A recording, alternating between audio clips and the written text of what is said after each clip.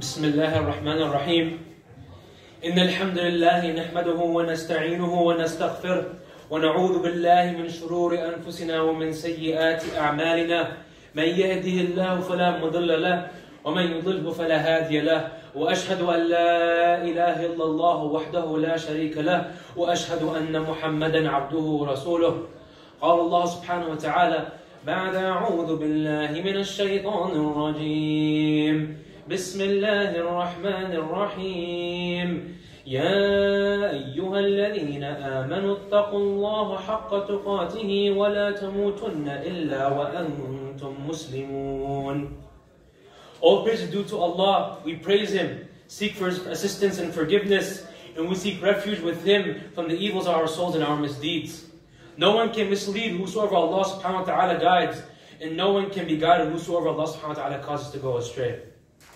I testify that there is no deity worthy of worship except Allah alone, and He has no partner. I also testify that Muhammad sallallahu alayhi wasallam is His slave and the last messenger of Allah subhanahu wa ta'ala. May the peace and the blessings of Allah be upon our Prophet Muhammad sallallahu alayhi wasallam, his family, his companions, and all those who followed him and will follow him in righteousness till the day of judgment. رب اشرح لي صدري ويسر لي امري واحلل عقدة من لساني يفقه قولي. Assalamu alaikum wa rahmatullahi wa barakatuh. I want to start off this khutbah by saying one thing. Congratulations on getting it to the end of the year. We all know that it's been a struggling 15 weeks, and this is the first time, uh, one of the, I think, second year or third year, in which the full month of Ramadan is happening during our college semester, in which we have to force, both face the difficulties of fasting waking up early, staying up late, but making sure you get your studies done. You're awake for 8 a.m. class. And I do want to remind you that we still have one more week left. We still have finals left, and it's a reminder to finish strong. We should always both try our best, but also have tawakkul on Allah subhanahu wa ta'ala. This duality, this duality of both having trust in Allah subhanahu wa ta'ala, and you know that at the, at the end of the day, the result in Allah's hand, but also making sure you tie your camel, making sure you do your due diligence, making sure you put your efforts in. And it's just a reminder for all of us to take that with us to the end of the week, and inshallah, take that also as a way to live our lives in, in later on. To both put your effort in and tawakkul Allah subhanahu wa ta'ala. And it's now, I want to shift your attention to the very fact that's nearing the end of the semester. Some of us might be graduating, like for me. Maybe we're starting an internship. Maybe we're going overseas. Maybe we're staying with family. Maybe we're working or continuing our studies, etc. And it's amazing to see, and it's always fun to anticipate what's coming in the hereafter, what's coming after. You're always looking forward to what's next. The new stage in life. What's happening to me over there? What's going to happen to me when I move from this certain community, from this certain area, from this certain experiences that have been the same, the same ones, and then moving to a different place? Moving to a different uh, area, a different community, a different way of action. For example, when you're in college, it's very different when you're in work, when you're at home, or when you go overseas, wherever you may be going. It's different. Different mindset, different daily rhythm. But I want to ask one question. And I want to pose this to everyone. What's something that doesn't change no matter where we transition in life? What's something that we have to carry close to our hearts no matter where we go or where we might be? The answer is of many, but honestly, I think it's the most important answer. It's our covenant with Allah subhanahu wa ta'ala. What's that covenant? It's the promise that we made Allah subhanahu wa ta'ala. And it's the shahada. The same shahada that we say at the very least five or six times a day. Even more. أشهد أن لا إله إلا الله وأشهد أن محمد رسول الله. I bear witness that there's no deity worthy of worship except Allah. And there's no prophet, and the last message is Prophet Muhammad sallallahu alaihi wasallam. That is our covenant, our promise with Allah subhanahu wa ta'ala. That's what made us Muslim. That's the promise we made to Allah subhanahu wa ta'ala and saying, hey, if and Allah subhanahu wa ta'ala told us that if you follow this, if you follow this promise with me, this covenant, I will guarantee you what? Jannah. I will guarantee you paradise in the hereafter. So what do we get in return? Jannah. And what do we get to avoid as well? Jahannam. Hell. How great of a blessing is that?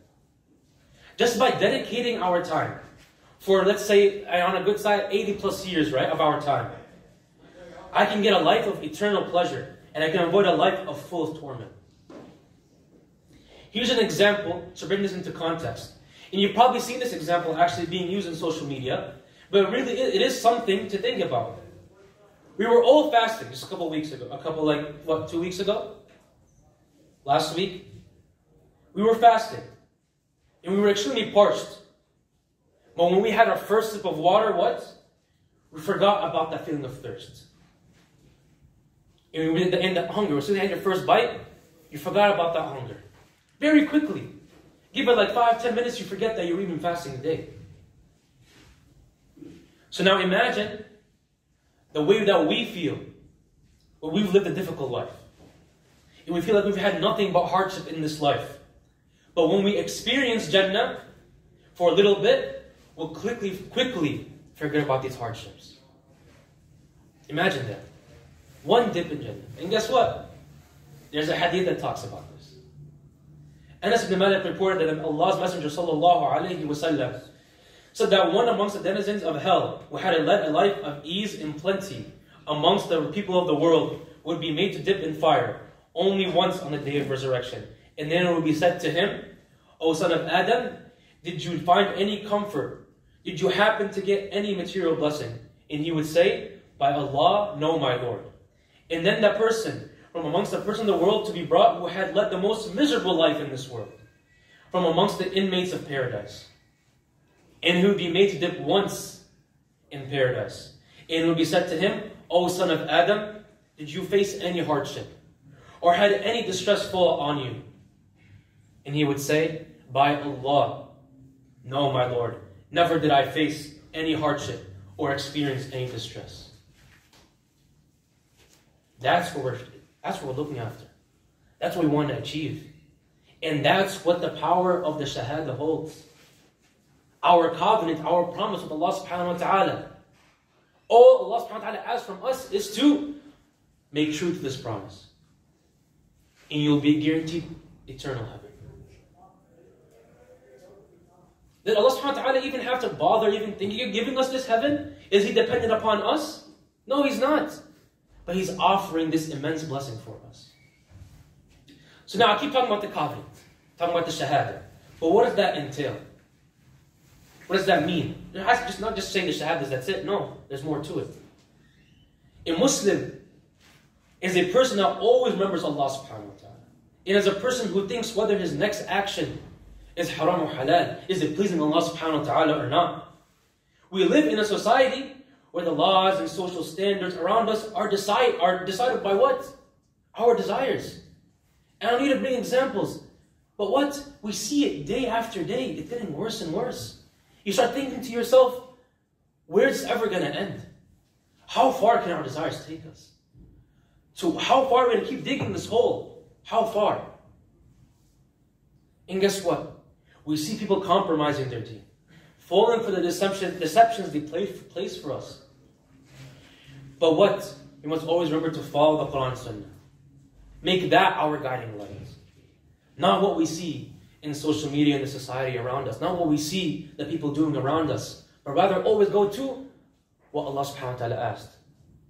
The very first part of the Shahada, let say, Ashhadu an la ilaha illallah. I bear witness that there is no deity worthy of worship except Allah. What does that worship entail? Entails obedience. Since I know Allah is the one who created everything. I know Allah is the most just. I know Allah is the most wise. I know Allah is not biased. So I know that the rules that He gives me, what He tells me to follow, must be the truth no matter what. No doubt in my heart at all whatsoever. That's what it means to take Allah as the one and only creator. That's what it means to stay true to that covenant. We made a contract with Allah subhanahu wa ta'ala. when we said the Shahada. And it's our duty to fulfill this contract. أقول قولي هذا واستغفر الله لكم وسائر المسلمين فاستغفروه إنه الغفور الرحيم.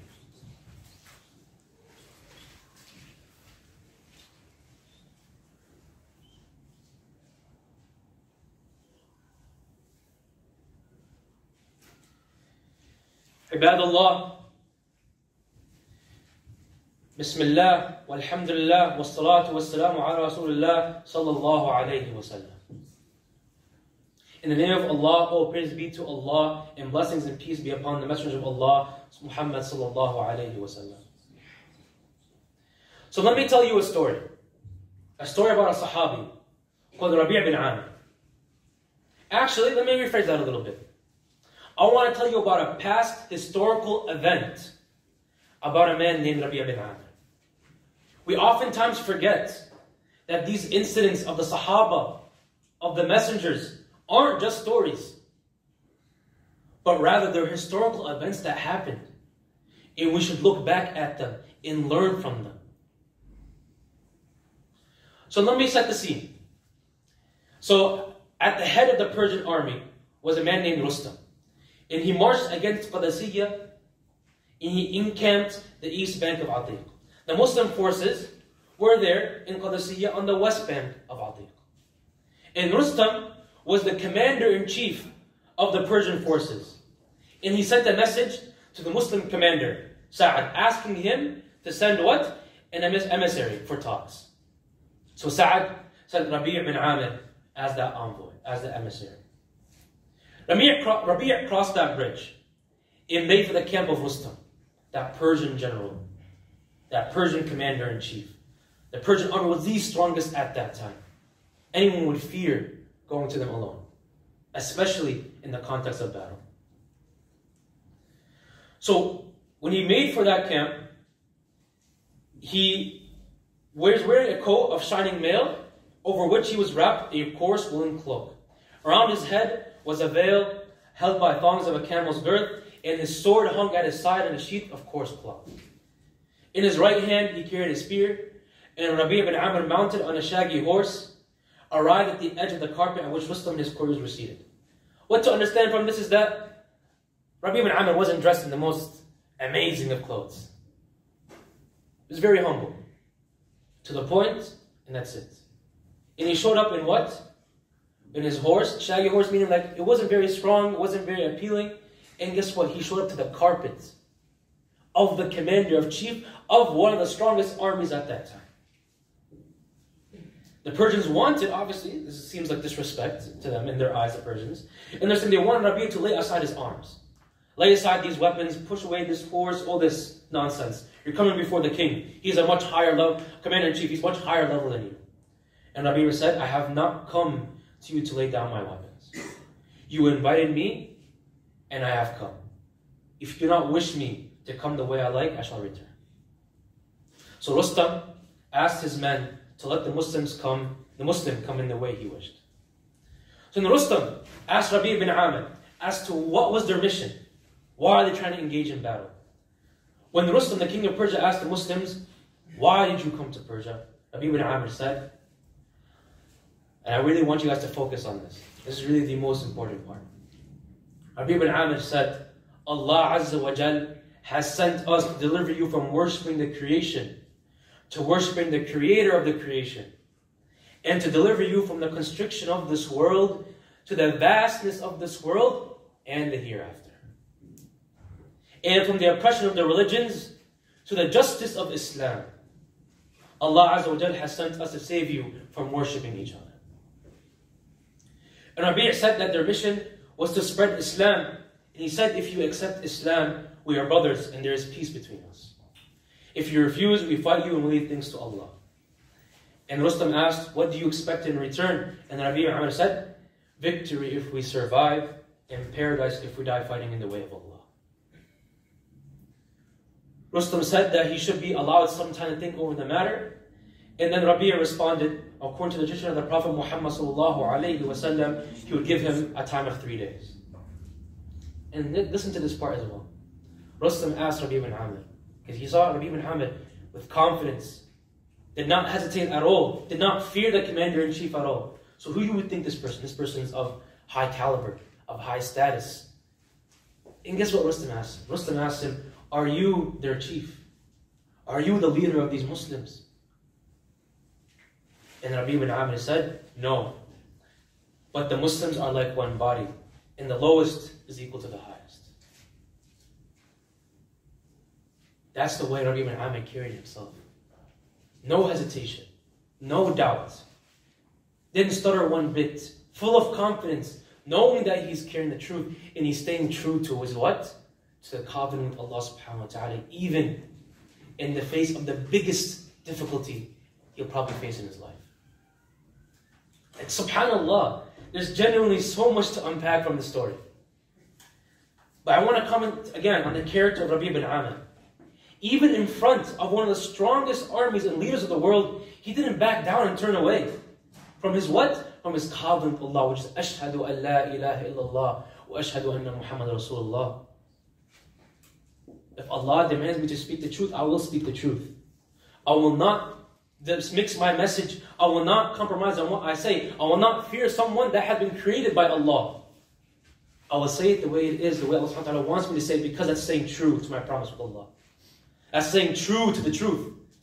Did the Prophet Muhammad wasallam ever, ever change his message? No.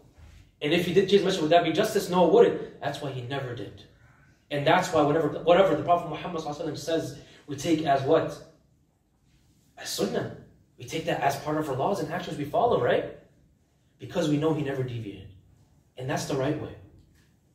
Never deviated. And now imagine ourselves in that very same situation. What would our reaction be? What would our initial thoughts be? Imagine you standing in person of the high superpowers of that time. And clearly you know he'll be angry if you tell him, what you're worshiping is not right. What you're living your life is not right. I'm going to change you from the bottom up. I'm going to, I want you to become a Muslim. Imagine you going to tell that someone of the highest caliber, of the highest levels. Personally, the first thing I'll be shaking in my boots, genuinely. But no. Rabbi Muhammad stayed true to his covenant, true to his promise with Allah subhanahu wa ta'ala.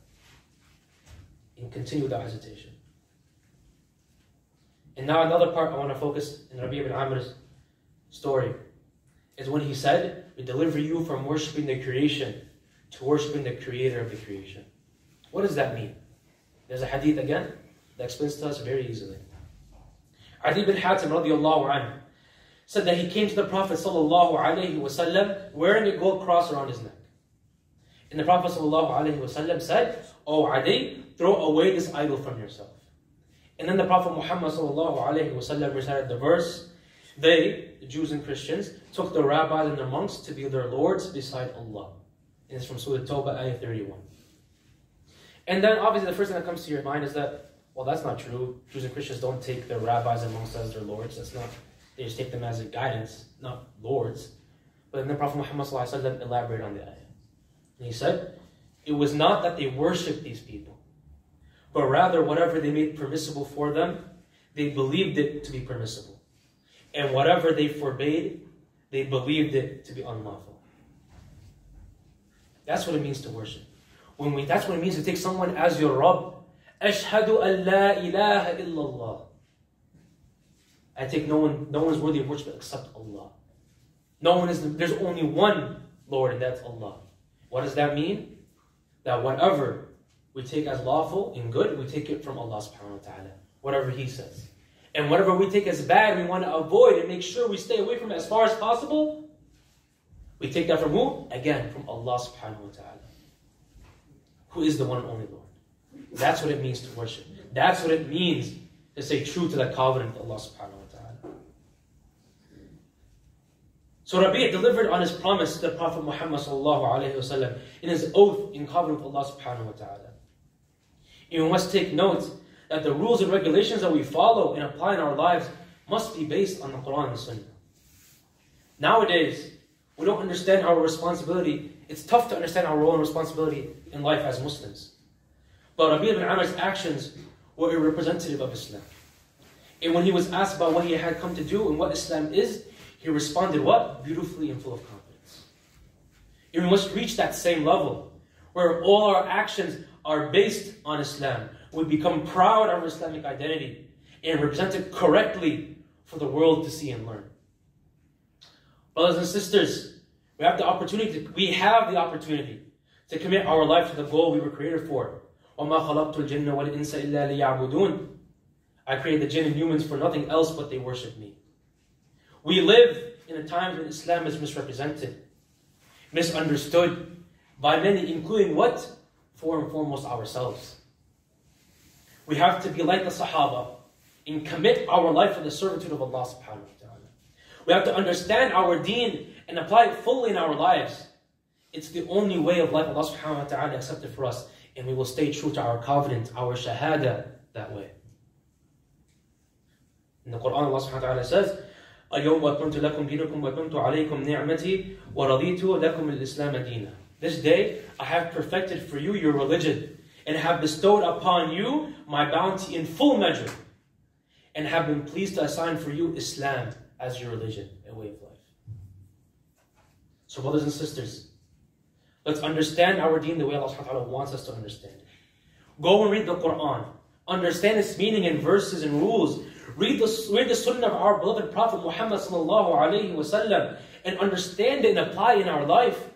And know your role to carry to the people, both Muslims and non-Muslims, without deviation from his Prophet Muhammad sallallahu alayhi wasallam's path and without compromising. That's the sunnah of the Prophet Muhammad sallallahu alayhi wasallam. He never compromised. And like I said in the very beginning of the khutbah, no matter where we may go or end up in our, in our life, one thing that stays true is that we have to hold our covenant with Allah subhanahu wa ta'ala. That will remain constant.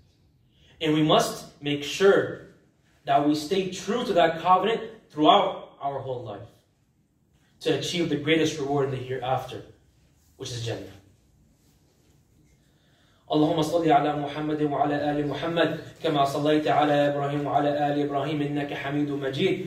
اللهم بارك على محمد وعلى آل محمد كما باركت على إبراهيم وعلى آل إبراهيم إنك حميد مجيد. اللهم اغفر للمسلمين والمسلمات والمؤمنين والمؤمنات الأحياء منهم والأموات. إنك سميع مجيب الدعوات. Oh Allah, we seek your favor to let our hearts be full of your gratitude and keep our tongue moist with your remembrance. Oh Allah, guide us to know what is good. Make us benefit from what we have learned and increase our knowledge. O Allah, give us in this world that which is good and in the hereafter which is much better and save us from the torment of the fire. O Allah, provide protection to our brothers and sisters and our children in the Sham, Palestine, Yemen, Afghanistan, Kashmir, Burma, Iraq, Pakistan, uh, in other parts of the world.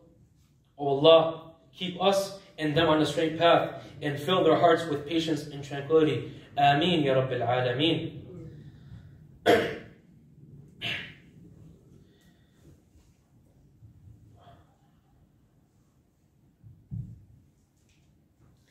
ربنا لا تؤاخذنا إن نسينا أو أخطأنا. ربنا ولا تحمل علينا إسرا كما حملته على الذين من قبلنا. ربنا ولا تحملنا ما لا طاقة لنا به. واعف عنا واغفر لنا وارحمنا. أنت مولانا فانصرنا على القوم الكافرين. عباد الله إن الله يأمر بالعدل والإحسان وإيتاء ذي القربى وينهى عن الفحشاء والمنكر والبغي يعظكم لعلكم تذكرون. اذكروا الله يذكركم وادعوه يستجب لكم. ولذكر الله تعالى أعلى وأعز وأجل وأتم وأهم وأكبر. وأقم الصلاة.